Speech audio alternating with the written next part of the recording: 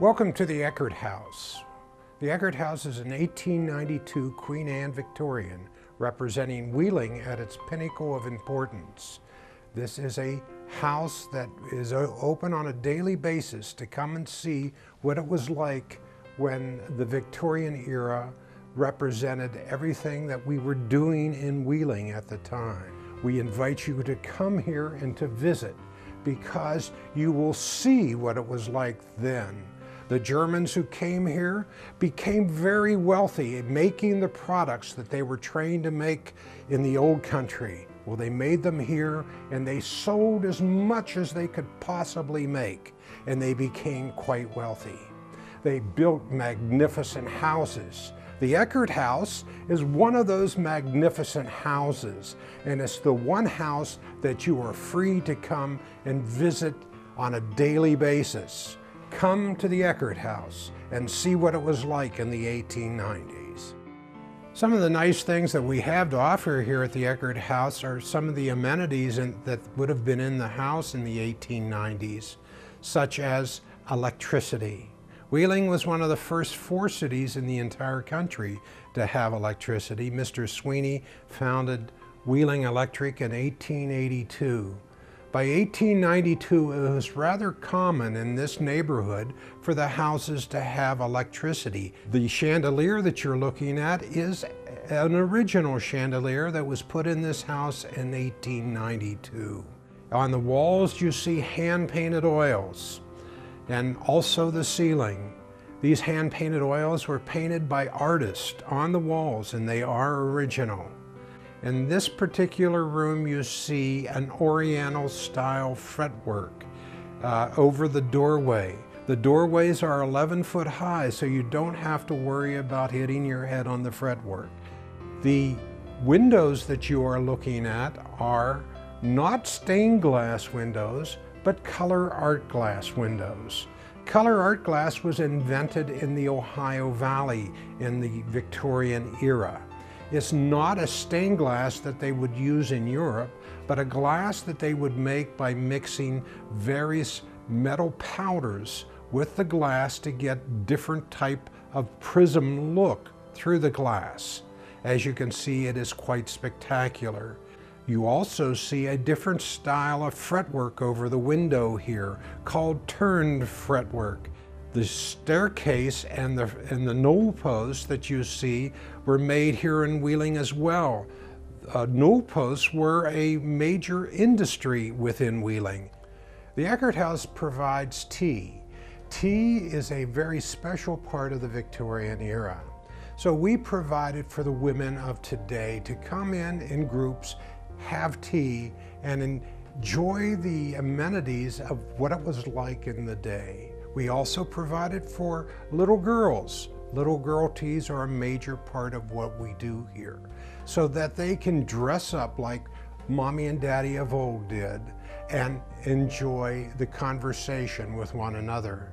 You see, tea was a very important part of society, and Wheeling was very high society at the time. And during tea, the ladies could get together and make decisions. They say that the decisions made during tea, the gentlemen would hear in their ear on the pillow at night and be expected to carry forth the next day in business. It was around tea that the real decision making was made, and we men were just for the purpose of carrying out the decisions. We are here in the upstairs parlor of the Eckhart House. The Eckhart House has three parlors. Downstairs we have the ladies' parlor, the gentleman's parlor, and up here we have the family parlor. This is where the family would have spent their relaxing time. And as you can see, they had beautiful amenities within their parlor. This is a uh, beautiful carved wood uh, mantle with Wheeling tile. Wheeling was very well known for uh, ceramic tile in those days. And this is, a, this is Wheeling ceramic tile, cast bronze heat, ex, bronze heat exchanger, a beveled mirror, all within the family's parlor. The family's, and today we would, we would call it the family room. But this is where the family lived. And off of this parlor were the family's bedrooms. But this was where they spent their time. Very, very relaxing. Within the family's parlor, they also have a chandelier that uses, utilizes both electricity and gas.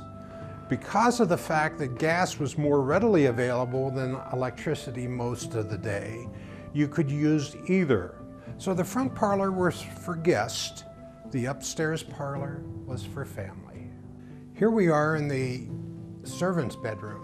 It's interesting that in those days, the servants in Wheeling normally came from Europe, and many of them signed contracts to work here in these homes and would work for seven years if we would pay for their passage and sponsor them. So for seven years, these girls, usually young girls, would work for the family and they would live in this room. As you can see, this room is very nice, but it's not quite as nice as the front rooms are, this being in the back of the house. There's no mantle, just a firebox, which keeps you more than adequately warm. It has very small woodwork as compared to the front of the house. The front, the woodwork is only 80% the size of the woodwork in the rest of the house. And the windows are ribbed, which means that they are inexpensive windows. But the one thing that really designates this as a servant's bedroom is the fact that it has a closet.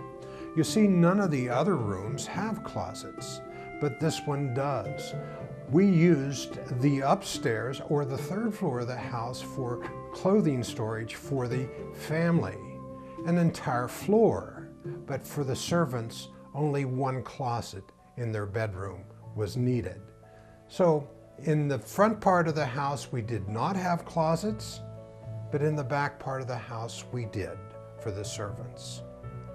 Well, thank you very much for joining us for our little walkthrough of the Eckhart House. When you come down to see us, though, remember that the Eckhart House has a beautiful gift shop in it, and it is there for your perusal. We'd love for you to look through our wonderful gifts. It is a very unique shop, and it is one of the nicest shops in the valley. So take a look at our shop, and I hope you will come and look at the Eckhart House and learn about your history. Thank you.